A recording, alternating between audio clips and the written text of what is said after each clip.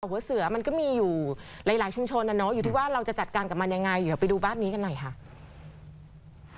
นี่คือสิ่งที่เกิดขึ้นนะคะ เห็นบอกว่าเป็นคุณตาวัย 92อะค่ะแกอยู่บ้านหลังนี้ แล้วลูกหลานก็กลัว คุณทองล้วนบุญกล้าอายุ 57 ค่ะเออบอกว่ามีแม่นะเป็นคุณแม่ของอนุญาตเป็นคุณยายวัย 92 อยู่ที่องครักษ์โพธิ์ทองอ่างทองค่ะ อยู่ชั้นล่างของบ้านก็ต้องลากดึงที่นอนกันออกมาแบบนี้เลย แล้วก็เก็บกวาด ซากของต่อหัวเสือนะคะ มีรังอยู่บนฝ้าเพดานก็ต้องกางมุงให้แม่นอนป้องกันอันตรายเนี่ยแหละค่ะ กู้ภัยก็เลยต้องไปทำลายรังต่อ เพราะว่าคนแก่อยู่คนเดียว ช่วงค่ำๆเวลาปิดไฟมืดๆใช้ผ้าบางๆคลุม แล้วก็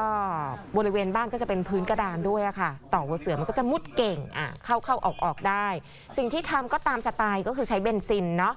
เออแล้วก็ฉีดพ่นลงไปรอบๆเพื่อให้ต่อหัวเสือสลบก่อน แล้วก็งัดไม้แผ่นกระดาน พื้นบ้านเนี่ย แล้วก็ค่อยเอารังของรังต่อออกมาอืมมีอยู่รังหนึ่งนะคะ ที่ติดกับรังต่อ เห็นบอกว่าเป็นรังพึ่งด้วย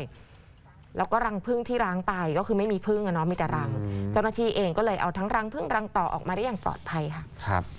ข่าวช่อง 8 ครบเครื่องเคียงข้าง ครอบคลุม